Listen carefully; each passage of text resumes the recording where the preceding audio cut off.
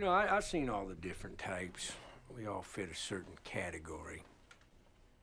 The bully, the charmer, the uh, surrogate dad, the man possessed by ungovernable rage, the brain.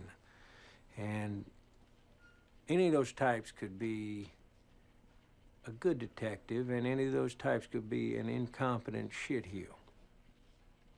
Which type were you? Oh, I was just a regular type dude with a big ass dick. A lot of it had to do with how they manage authority.